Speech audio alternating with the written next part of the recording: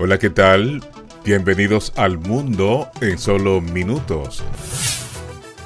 Explosiones subterráneas ocurridas en Midtown, Manhattan provocaron heridas a un supervisor de construcción y tres bomberos y causó pánico entre transeúntes y automovilistas en la calle 32.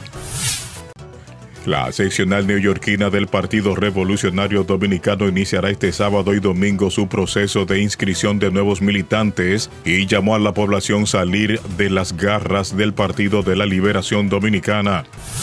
El concejal Idanis Rodríguez calificó de racista e inconstitucional la pregunta sobre el estatus migratorio en el censo del 2020. En ese sentido, se declaró en pie de lucha ante la posibilidad de que la Corte Suprema de Estados Unidos ratifique el plan del gobierno de Donald Trump de incluir esa interrogante en el conteo. En informaciones de la República Dominicana, la embajadora de los Estados Unidos en la República Dominicana, Robin Bernstein, giró visitas de cortesías al arzobispo de Santo Domingo Francisco Soria y al presidente del Tribunal Superior Electoral, Román Jaques Liranzo.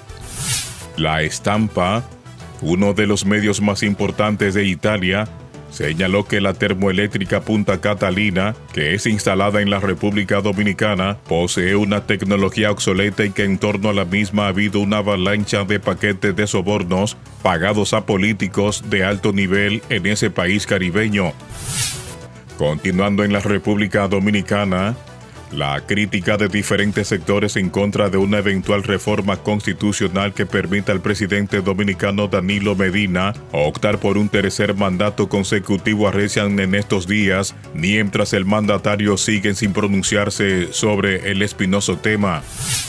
En Washington, el consejero en la misión permanente de la República Dominicana en la OEA, Flavio Holguín, destacó el éxito del evento de presentación del libro Ideas en Conflicto, diálogo póstumo de John Barlow, Martín a Juan Bosch, de la autoría del doctor Leonel Fernández, quien encabezó la actividad junto a los historiadores Juan Daniel Balcácer y Frank Moya Poms, celebrado el miércoles 24 de abril en el Salón de las Américas del organismo multilateral en Washington.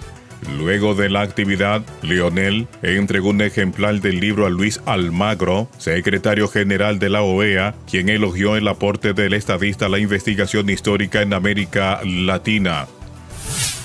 Continuando en Washington, un grupo de 30 activistas tomaron la embajada de Venezuela para impedir la entrada del nuevo cuerpo diplomático nombrado por el presidente encargado de Venezuela, Juan Guaidó. Según dijo Kevin C., los funcionarios leales al régimen de Nicolás Maduro que abandonaron el país hace dos meses le dieron las llaves.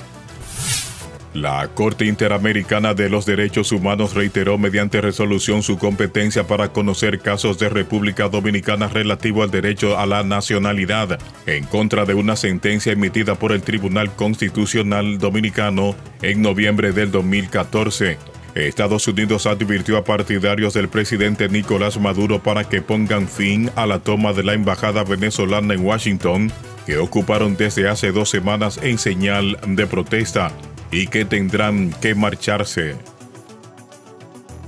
Hasta aquí, el mundo en solo minutos. Rafael Díaz les informó.